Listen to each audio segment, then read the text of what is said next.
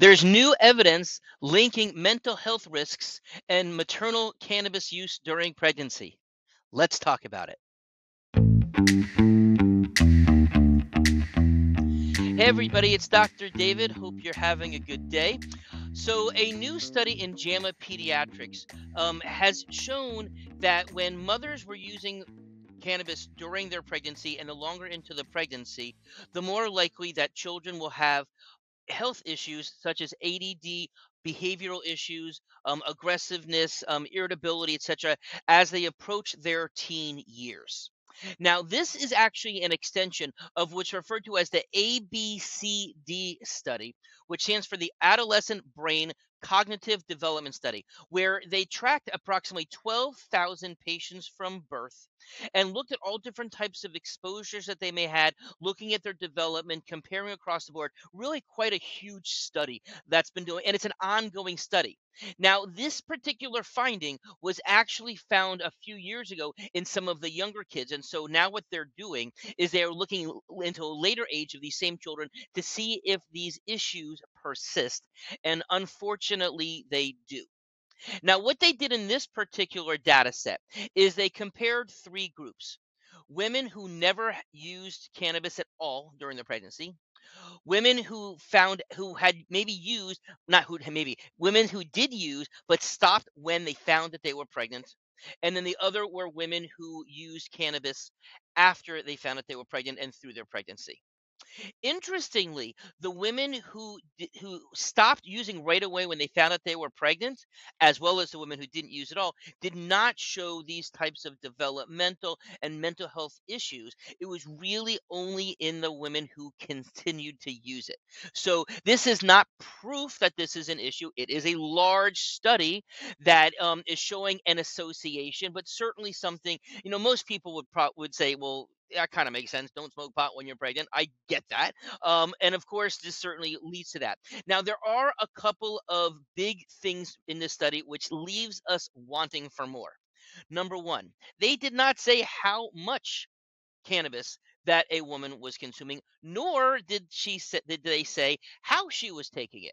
Now we know sometimes even with similar to with cigarette smoke, there lower oxygenation, um, you know, potential damage to the lung tissue of the mother, and that can impact the um the fetus um and and and after the baby's born the neonate um and what they've actually shown is that children exposed to cannabis, you know, when they looked at earlier on, they actually were looking at MRIs. They showed that that that the babies who were exposed in utero were more likely to have lower brain volume, lower white matter volume, as well as lower birth weight.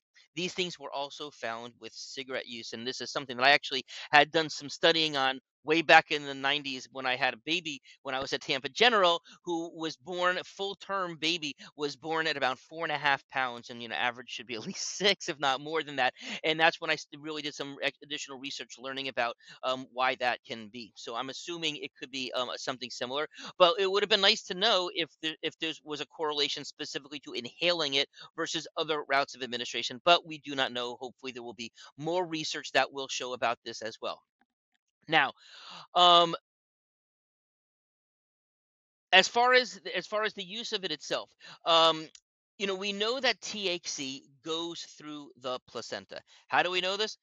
Drug tests some babies if there's a concern of, that a mother may be using drugs during um, pregnancy or at least during you know prior to labor and delivery.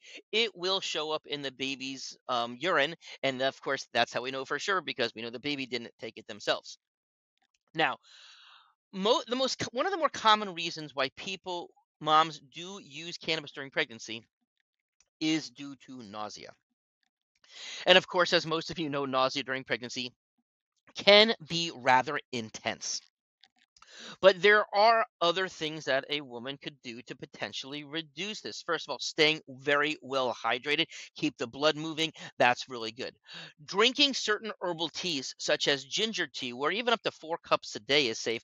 Adding in some mint, the mint also can t- comment. But one of my all time favorites for my nausea, which is um, chamomile tea, or I do it as Sleepytime tea, that should not be consumed because um, chamomile has been associated with increasing uterine contractions, and there's a concern potentially for um, for um, preterm um, labor if that were to happen.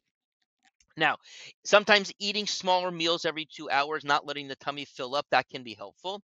Avoiding some spicy and fatty foods, sometimes that can help. Now, vitamin B6 with magnesium, this is an old standby. Um, I see this, I see mainstream um, uh, OBGYNs who are doing this, but this is something that we've been recommending for a long time. Um, the Sea-Bands, the, the, those bands that kind of look like wrist guards that um, have the have the acupressure point that goes right there. Um, it's used obviously when people are on boats, but I've had success with this as well.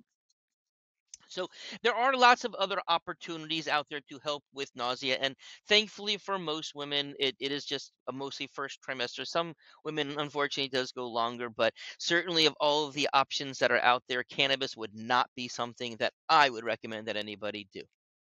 So hope that gives you some new information. Um, but please subscribe to our channel if you haven't already. Please notify, hit the notification button.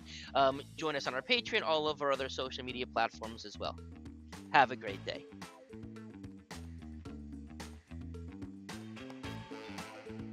We are all about health, education, and choice.